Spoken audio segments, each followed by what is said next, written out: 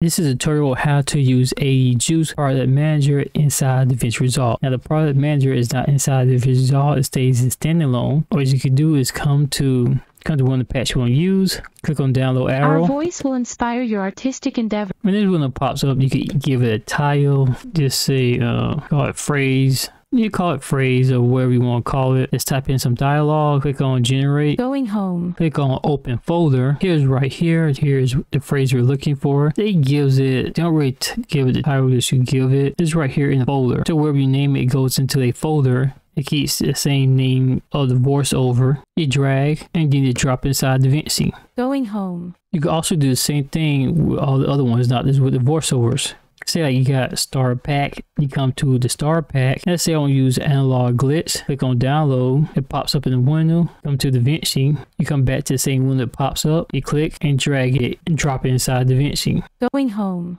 Going home. Going home. And that's it. Thanks for watching